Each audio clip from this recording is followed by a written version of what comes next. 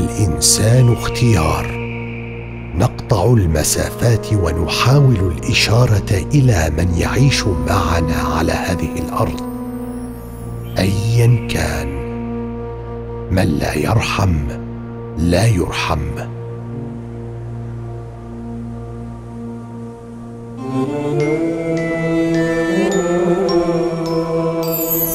جادت نفسي بمهمة.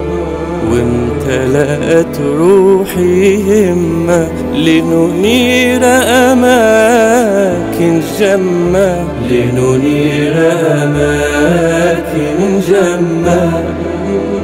حب إحسان حكمة فعلوا الخير ولو كلمة. حب إحسان حكمة.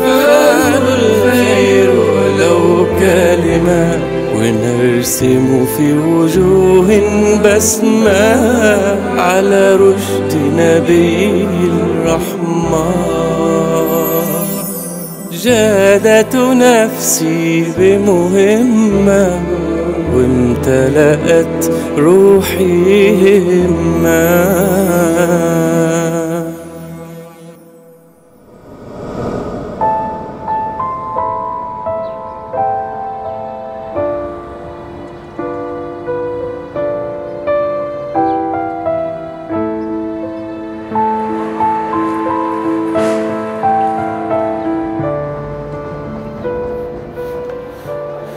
مهمتنا اليوم في غازي عنتاب لزيارة بعض الأسر السورية اللي تكافح وتعمل من منازلها من أجل إيجاد قوت أبنائها.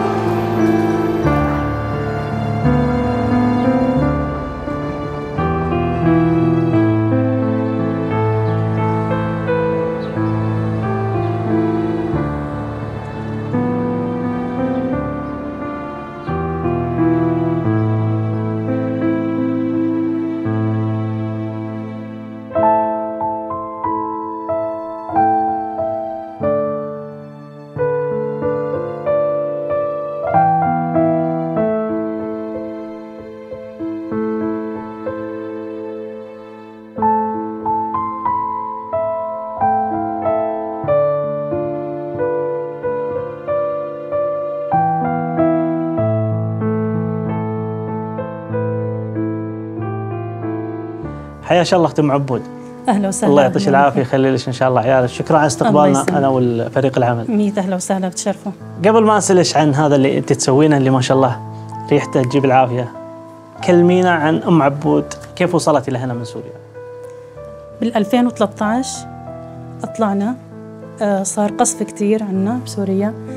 فبعد استشهاد والد الأطفال آه، صار عندهم خوف من القصف من البقاء في سوريا. طلعنا شهر على المخيمات اللي على الحدود السوري آه، بهذيك الأثناء كنت الساعة أنا متوفي زوجي يعني صار له تقريبا شهرين الله الساعة 2 يرحمه. بالعدة. الله يرحمه فمن المستحيل يعني أبقى في المخيم صعب كثير كان ظرفنا. أي.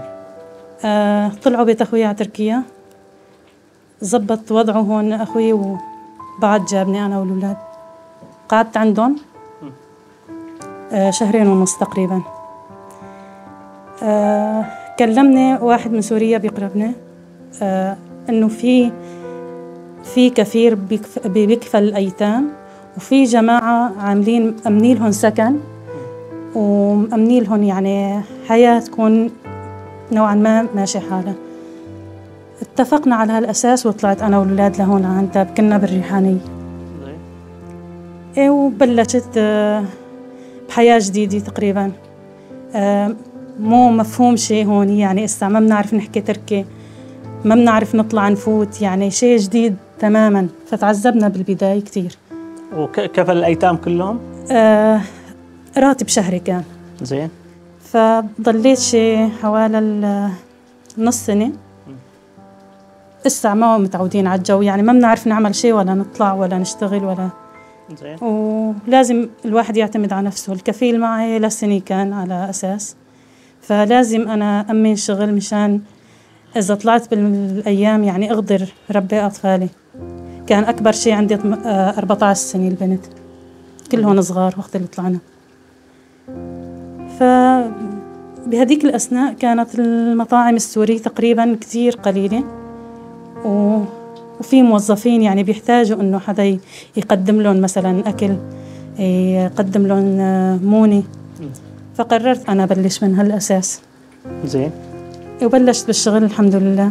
الحمد لله. واجهتكم صعوبة في الانتقال من من سوريا لتركيا؟ آه، بالبداية لا. آه، بداية الأمر ما كان في صعوبة كتير. يعني كانت الطلعة أيسر من هلأ أسهل بكتير. ما ما كان في عذاب لا. أما هون في التنقيل من مكان لمكان وحياة جديدة ومختلفة هون الصعوبة بلشت بالبداية ما كان في مدارس للأولاد. أمنا لهم مدارسهم أول شيء عملته أمنت مدارس الأولاد والحمد لله كلهم هلأ عم يدرسوا الحمد لله من هون وصلوا للجامعة ومن هون لساتهم ابتدائي ومن هون ثانوي الحمد لله. وهذا اللي أنت تسوينه الحين آه، يعني يكفيكم كمصاريف؟ يعني تبيعينه؟ يعني هل يعني تشوفينه هي مو تكفينا مصاريف بس يعني تسندنا؟ يعني ماشي الحال الحمد لله. يعني مو إنه تكفي أما حسب الشغل كمان. الحين هذا البيت أجار ولا ولا من الأوقاف؟ لا أجار. أجار. أول ما أجيت هاي أول سنة اللي أجيتها كان البيت آه، من الأوقاف. فلا هلأ صار لي هون بهذا البيت سنتين. مستاجرته زين كيف تقدر انت تدفعين الأجار و... وت... وتوفرين لهم مصاريفهم مصاريف الدراسة؟ ابني صار يدرس حر ويشتغل ليساعدني ابنش يدرس ويشتغل يساعدك كم عمره الحين هذا اللي يشتغل؟ داخل بال 19 كنت تسوين هذه الأشياء ال- ال- المقدوس والمربى لما كنت في سوريا ولا بس لما جيتي هنا؟ يعني كنت تبيعينها آه، بسوريا ولا لا. بس هنا؟ ما اشتغلت بسوريا آه، ما احتجت اشتغل اعمله بس للبيت مونة فلما اجيت لهون وصرت أنا المسؤولة عن أطفالي وتربيتهم ولازم امن لهم يعني مصروفهم فقررت أشتغل في هالمجال ما فكرتي تسوين لش يعني كشك صغير أو مكان تبيعين فيه؟ هلأ ما ما في عندي قدرة مثلا آه، أفتح فمن شيء حوالي سنتين أول ما سكنت في هذا البيت آه، خططت أعمل آه، لحالي مشروع في البيت إلي ولنساء كمان أمهات أيتام. مشروع منزلي. كنا إيه كنا كلياتنا بدار الشام ساكنين سوا وطلعنا. فقلت آه، نشتغل مع بعض بالطبخ بالأكلات. حلو. وكان يعني المشروع تمام ماشي حاله. يعني بلشت فيه تقريبا آه، بالدين. يعني مو مو شيء حاضر. والنساء يعني كان ي- إلي عون ومساعدات إلي. فكان كتير آه، ناجح المشروع. بس إجت جائحة كورونا خلت. الكل يوقف يعني عن الشغل. ما عاد في شغل مثل قبل. فالسنة كان الشغل كتير قليل. هل مرت عليكم معاناة مثلا خلال الفترة اللي راحت هنا موجودة؟ لما كنتوا هنا. بالنسبة ليش؟ بالنسبة للأولاد.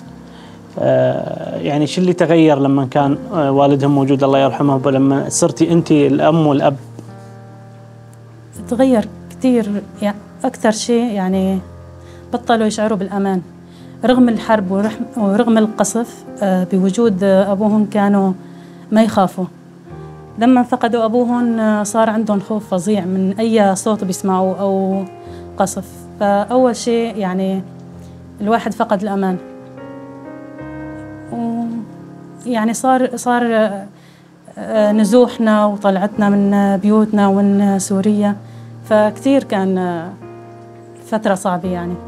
هلأ تقريبا تأقلموا الأولاد على الوضع هون آه، الحمد لله دراستهم ماشي والحمد لله إيش اللي تحتاجونه والله أكثر شيء اللي يعني بواجه فيه صعوبة هو الأجار والفواتير كتير كل سنة عم بيغلوا لنا إياه. فهاي أصعب شيء عنا. يعني أكثر من الأكل والشرب بهكل هم الأجار والفواتير اللي كل شهر رح يندفعوا.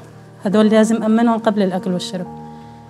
لأن صاحب البيت ما بيستنى مثلا فواتير ما بتستنى. فهاي ال- اللي عم نعاني منه. وما عم تثبت يعني خلص استأجرنا أنا استأجرت ب 850 كل سنة لازم يزودوا ال- الأجار. آه، في مكتب قطر الخيرية هنا ما راح يقصرون إن شاء الله. الله يجزيكم وبإذن خير الله إن شاء الله تسمعي الأخبار اللي تسرش إن شاء الله. الله يعطيكم العافية يجزيكم الخير فيما يخص الأطفال. اللي لسه مش مكفولين وفيما يخص الأجار بإذن الله إن شاء الله تسمعين أخبار حلوة. الله يجزيكم الخير يا رب. الله يوفقك. ويرزقك يخلي لك. اولادك يا أختي معبد الله يسلمك. مشكورين. يا مرحبا والسلام